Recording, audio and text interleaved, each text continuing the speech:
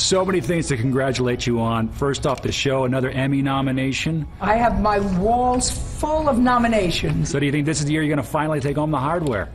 I don't know. You know, somehow it sort of would break the spell. The show has been such a tremendous success that I'm almost afraid to think about winning because so many of those shows that did win are no longer with us. So I say to myself, you want the Emmy? Or you want a job? Which one do you want? Well, congrats on having a job, but there's a lot of judge shows that have come and gone. Why do you think yours has such longevity? I think people are comfortable knowing my perspective because I think if you try as a judge slash television personality to do this kind of job and keep your perspectives, your personal perspectives, a secret, you're not being honest. And I think that the American viewing audience can tell when somebody's not being honest, when somebody is peeing on their leg and telling them it's raining. I think part of the reason I was selected to do this job was because I don't filter myself very well. But I was never a great filter of myself, even when I sat on the bench in New York. Now, sometimes that got you into a little bit of hot water. Here, they seem to like it. Fortunately for me, I don't have to act. This is it. And if you annoy me, or if you lie to me, or if I feel as if you're trying to obfuscate the truth, you're going to get on my bad side. And that's a side that you don't want to be on. You've seen the WWJD wristbands. What would Jesus do? Are we going to see some WWJS wristbands? What would Judy say? I'm so glad you asked about what would Judy say. Um, you know, the book which comes out, which came out yesterday. What, Fisher ins- what inspired writing it? Actually, my literary agent has been on my back for about three or four years and said, Judy, you know, you haven't written a book in a long time. People want to know what you're thinking about a variety of things. So I said, all right, if somebody can figure out an easy way for me to communicate with some of my fans on the website, on a website, and exchange ideas with me because I've had lots of experience, but I can't compete with the experience of 320 million people that have had their own stories.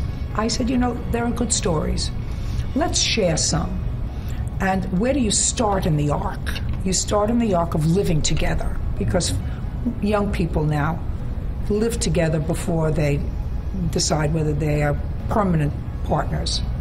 So I threw out a question on my website. I say, you must have stories about living together with benefits.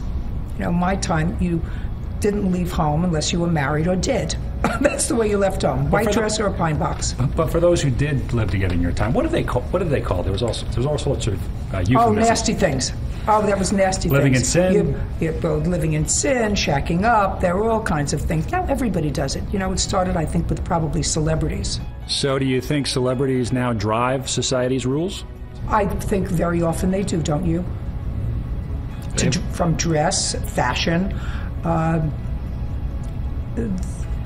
to social mores, to um, single parenting, to multiple partners, to a whole bunch of things. I think that because celebrity is glorified, uh, and very, very rarely punished for bad behavior.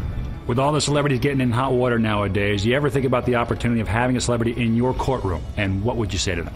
Not personally and particularly with regard to any celebrity, but I certainly think from the standpoint of the justice system, if you're going to make exceptions for celebrities, it's a mistake.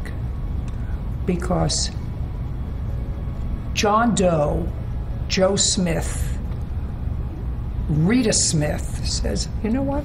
I did the same thing as that person did. And I got one chance, and I blew that chance, and they put me in jail.